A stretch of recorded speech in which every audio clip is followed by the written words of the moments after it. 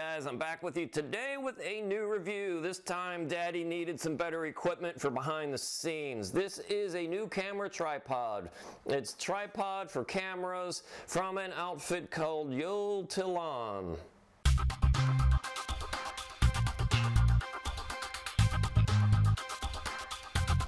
I purchased this thing. Uh, the main reasons were I want a, a, tripod with a smooth or swiveling base, and the, and the, reviewers gave this really good review. This is the tripod.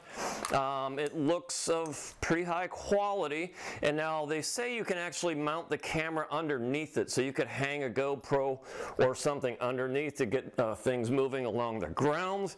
Let's take a look at the business end of this. Um, okay, so you would loosen this nut up to swivel it. That's actually nice and smooth. And then you would lock that down. Okay. Um, here's a clamp. Oh, I really like that. This one you actually slide in and then you can tighten it and it clamps along the sides of it. That's pretty cool. I like that. And another neat surprise I found, there's a little bubble level here on the very top to make sure your mount is level. The main reason I got this again is for the swivel function. I want to be able to scan or swivel from left to right smoothly without jerkiness. My other tripods are all made out of plastic and over time they just get more and more warm and it's, it's just very jerky when you turn the camera. Um, oh my goodness, this, I don't know how they do that, but it is, it's got resistance behind it and that's a really good thing. But it's very very very smooth turning no jerkiness.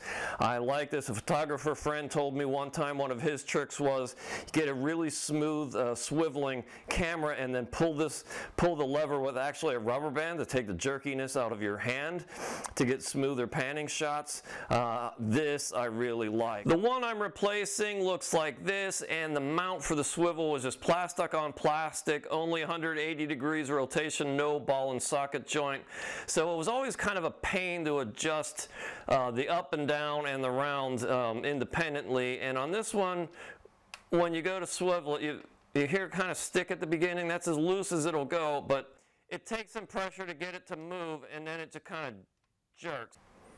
Now because this thing has a ball and socket um, mounts, you can point a camera straight down at the ground and look how smooth that spins. Very nice, no jerkiness.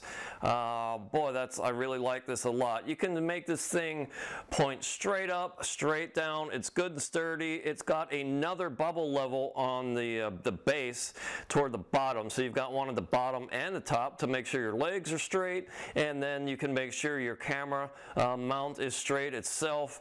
Very smooth smooth pivoting, very, very, very nice. I like that.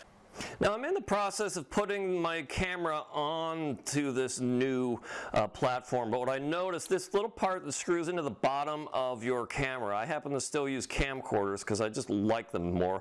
Um, there's a little screw thing here, but it's got a little D-ring that, that will pop down um, and you can just twist that with your fingers. It's hard to see, but it lifts up. So you can just twist that with your fingers and then you don't need, usually I use a penny or a dime, some kind of uh, uh, coin or a screwdriver to tighten that up. Well, you don't need that here because this thing's got a built-in way to do it by hand. I like that. Okay, here's what this tripod looks like at its shortest setting. And uh, if you loosen a, a little thumb screw here, you can raise the neck up or lower it, and then each of these legs expands out. It's telescoping, so you just open these little clips here and it will slide out. Um, look at the specs to see how tall it was. This is this one is a little shorter than what I'm used to, but I like that it's got a really smooth swivel. It's got this ball and socket uh, joint here, so you can loosen that up. You can go put it in any direction you want, and uh, there's a bubble level on the bottom leg here and there's another bubble level on the mount that holds your camera so that's really cool and uh, because this ball is designed the way it is you could position this so your camera is straight down or straight up. And um, that's total freedom of degrees there pretty much. So I like it. I'd recommend it. And uh, talk to you more